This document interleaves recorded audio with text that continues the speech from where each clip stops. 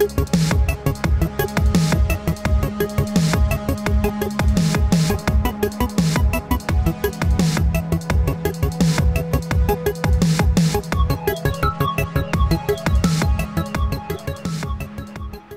up guys? Welcome back to our final video in our PWM series that we've been doing. This video we will be looking at how to create a dimming circuit by using a PWM uh, waveform to control an LED. And you'll see in this video by varying our pulse width of our waveform we can get different uh, brightnesses of our LED. So those of you that uh, don't know exactly uh, how the pulse widths and things like that work. If you check out the first video in this series, I explain the different pulse widths of the PWM wave, which PWM again stands for pulse width modulation. So we're going to be playing with the on time and the off time uh, ratio, which is usually called the duty cycle of it. By playing with the duty cycle, which is the ratio of the time the signal is on or at 5 volts versus the time the signal is off or at 0 volts, we can actually achieve uh, a dim, a dimmer or brighter uh, LED.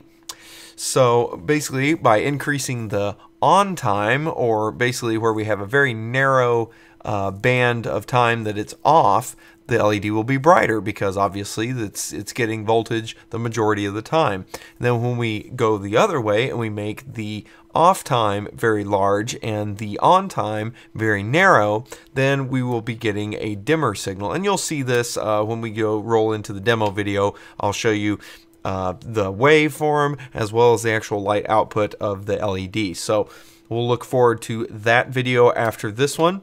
This is going to be a pretty simple circuit. As you can see, we'll probably uh, just do the roll right into the code right after uh, right after I show you this. I'm just going to show you the hardware real quick and we'll roll right into the software.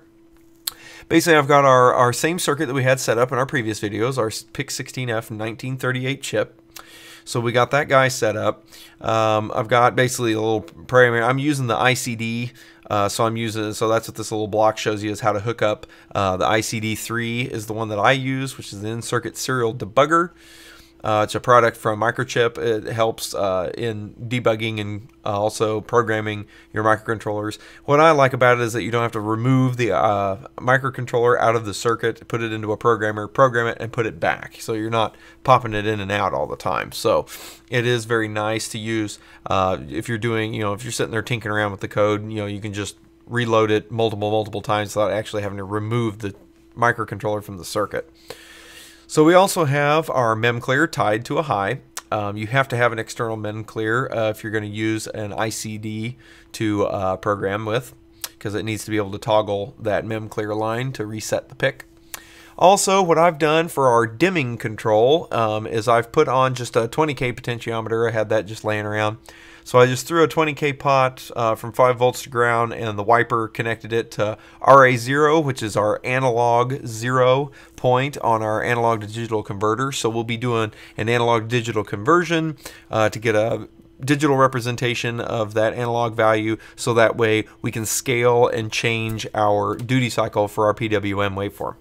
Then, as uh, we did on the other one, I'm hanging uh, an LED off of uh, RC2, which is the port that we'll use to uh, output the PWM on. Um, I went ahead and did just a 470 ohm uh, resistor that's pretty standard for uh, LEDs on a 5 volt system. So, and then just one of the, well, just a standard, uh, I think I'm using one of my 5 millimeter LEDs, just standard LED.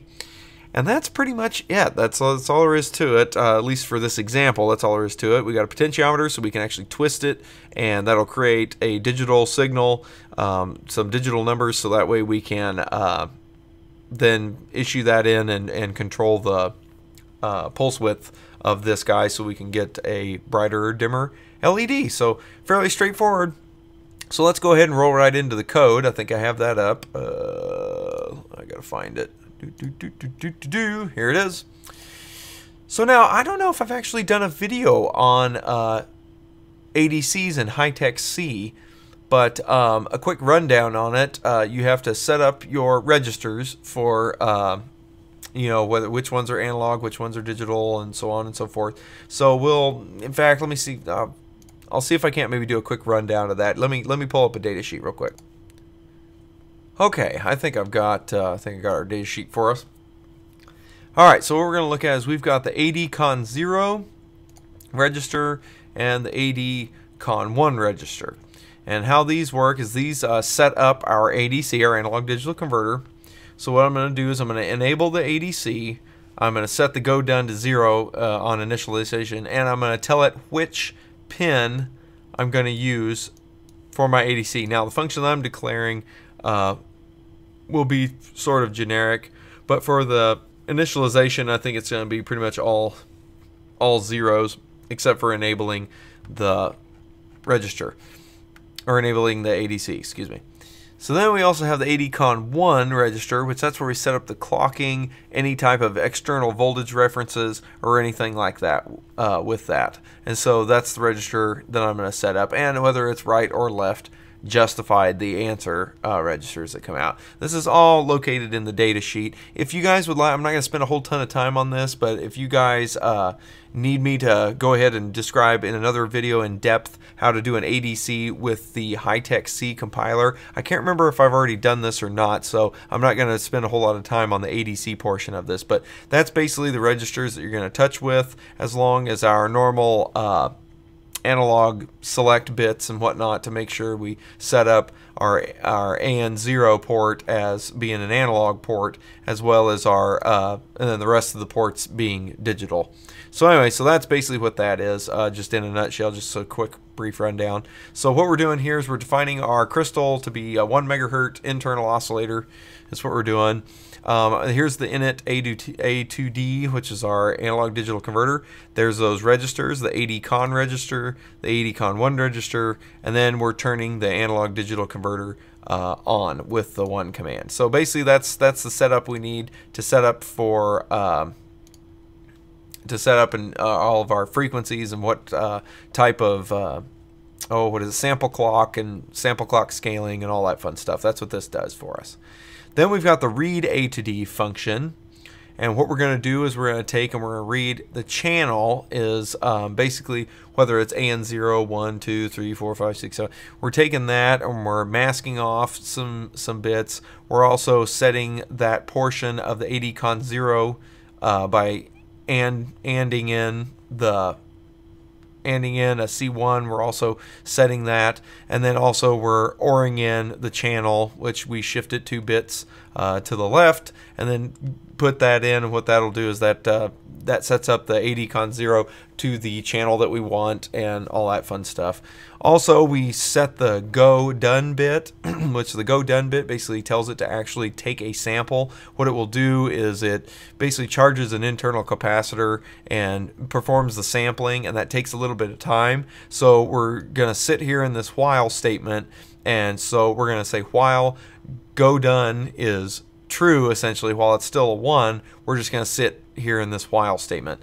And then go done will actually uh, flip to 0 when the whole uh, ADC sample takes place which like I said it's a few clock cycles so it's a few nanoseconds.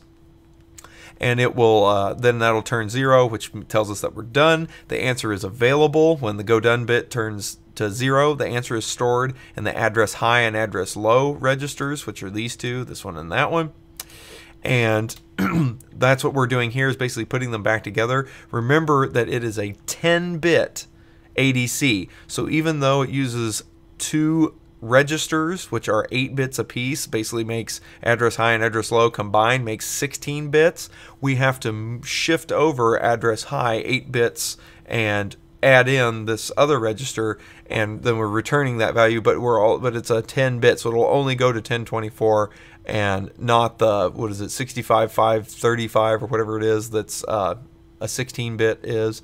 It's not that big. It's only to 1024 so keep that in mind. So 0 to 1023 or whatever that would be. Yeah.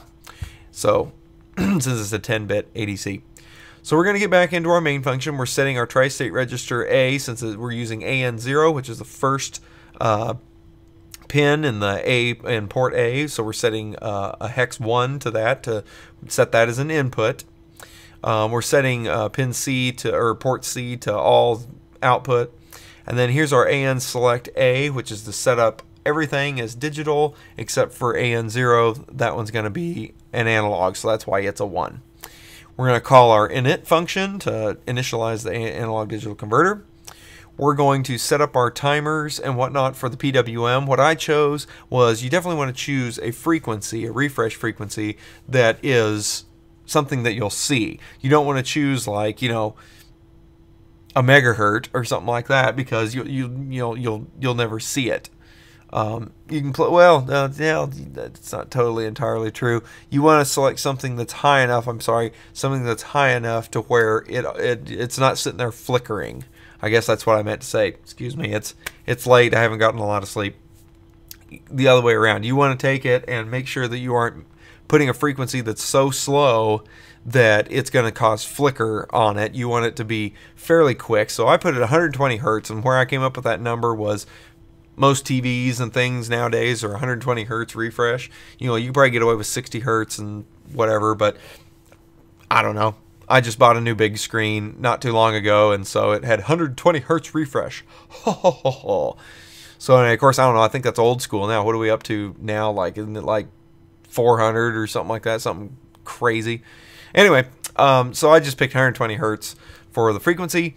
Then we're going to come down here and I'm initially going to set up, this is the key thing. Um, you can see that down here. That's the key thing that we're going to be looking at uh, to change the pulse width or basically the duty cycle. But I'm going ahead and setting it up with a 50% duty cycle just right out of the get-go. Then we'll come down to our 4, uh, which is our infinite, uh, infinite loop. Um, and then we're going to then we're going to play with this. So what we're going to do is we're going to read our A to D. Okay, then we're going to multiply it by 25. And where I come up with 25 is 25 is the scaling to scale it to a 255 to a 256. So basically, I want to take 10. Basically, I'm taking 1024 times what will equal 256. So if you do the algebra, it's going to be 256 divided by 1024 should give us what scale factor we need. And that's about 0.25. So if I take, if I had something that, if I had 1024, well, technically it's 1023 because it's 0 to 1023. Um, so if I have 1023 comes in on the ADC, I multiply it by 0.25, I get the 255. Now it's like 0.75, but I'm also typecasting here. So when I typecast, that will cut this 0.75 off and give me just 255.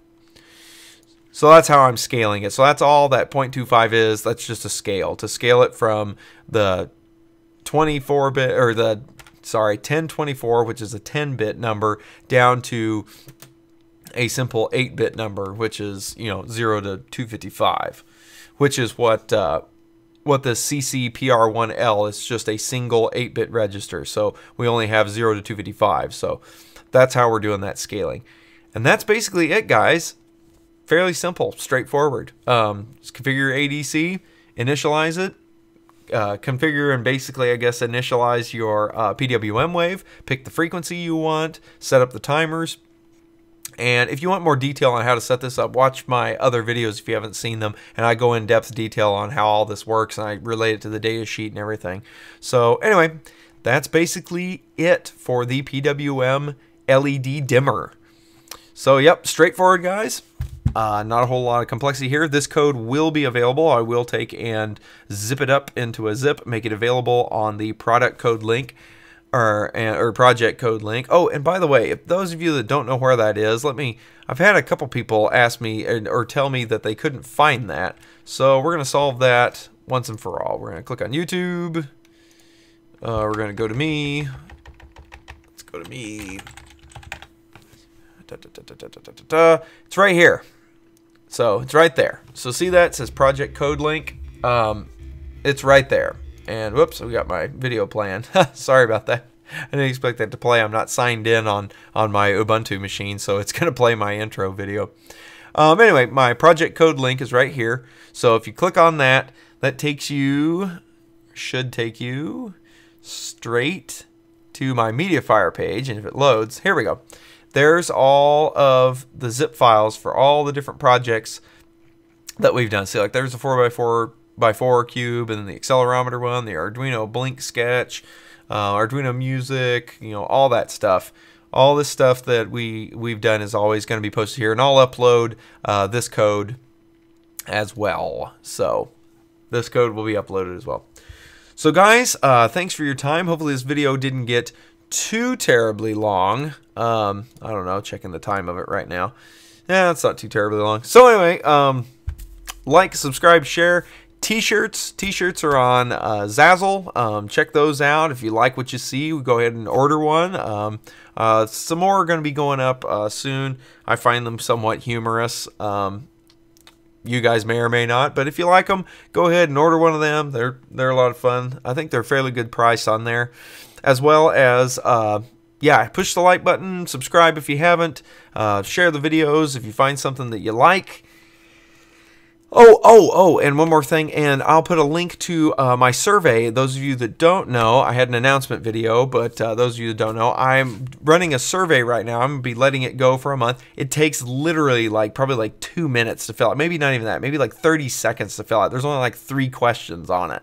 But um, what I, I'm just trying to get a feel of more videos that you guys would like. You guys um, I, I, seem to see a lot of good uh, responses to the just the PIC microcontroller videos, like like this one uh, that I do, and things like that. So I'm just trying to get a feel for what you guys would uh, like to see. I'm totally all ears in that, and there's even a section I think to where you can just write in whatever you want. So if you know if there's something specific that I don't have a choice for, and in the other you know other three questions or whatever it is, you can just type it in and let me know uh, what you think. So I'll put a link to that. Like I said, I'll probably run that for, oh, well, maybe for another uh, couple weeks and or at least until I see that it maybe tapers off and, and not many people are, are filling it out. So basically we will have saturated. So I'll uh, I'll take it down and uh, analyze the results and we'll uh, get some get some feedback for you guys. I'll probably make another update video after it's all over with,